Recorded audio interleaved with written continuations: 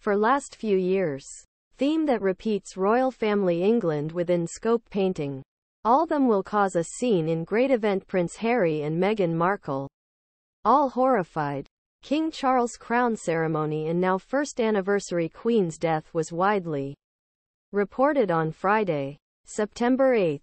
Last month, Daily Beast reported that Prince William and Kate Middleton was tense because Harry will be in UK for the Wellchild Awards on eve of his anniversary.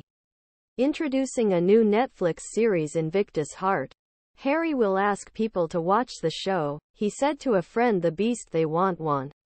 Although it is easy to see why Prince Harry would shake royals why it would continue to continue.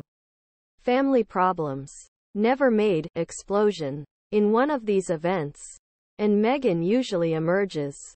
Does not say anything and sometimes is prevented with a candle in BBC feeding. Harry made short environmentalist statements about his grandmother at charity event on night of Perchee, when visiting George Chapel. Paid respects. Watch Prince Harry is talking about the late Queen who tomorrow one year ago